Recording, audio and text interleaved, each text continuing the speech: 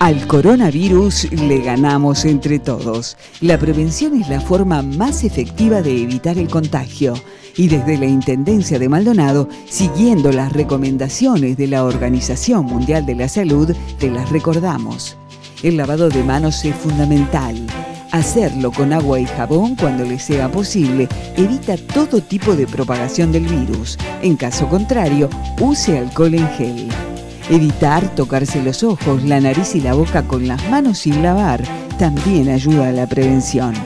Hay que evitar el contacto cercano con personas que tienen fiebre, tos u otros síntomas respiratorios. Al toser o estornudar, es fundamental taparse la boca y la nariz con el pliegue del codo o con un pañuelo desechable, no con la mano.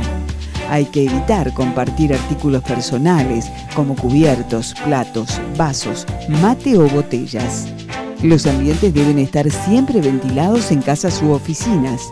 Y lo más importante, si tenés algún tipo de síntoma, después de realizar un viaje, consulta a tu médico.